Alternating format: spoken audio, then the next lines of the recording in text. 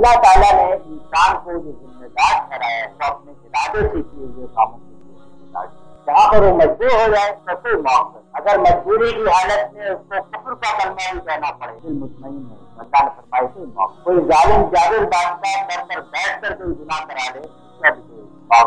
कोई काम भी जो खालिद से कोई कुत मज़बूत कर दे, कोई निज़ाम मज़बूत कर दे कुत मज़बूत कर दे।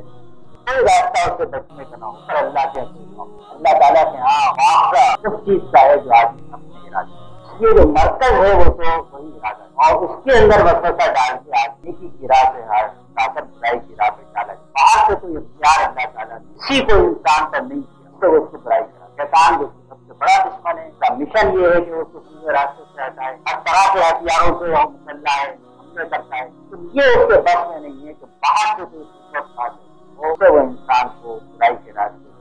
और अगर वो को इस्तेमाल करे बुराई को डालने के लिए तो इंसान बन ताला उसका अगर किसी दालिम को, किसी बादशाह को मायेदार को, किसी दौलतमंद को, किसी कुत के बल